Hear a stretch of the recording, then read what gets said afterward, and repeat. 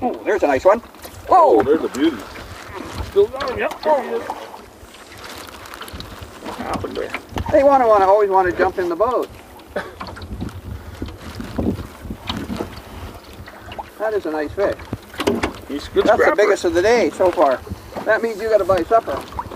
Have to get one bigger. Of course, Rodney got a bigger one, but it was a sucker.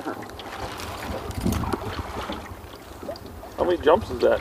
He's tired already. Nice fish. I'll tell you exactly how long he is. 17 and a half inches. Go, buddy.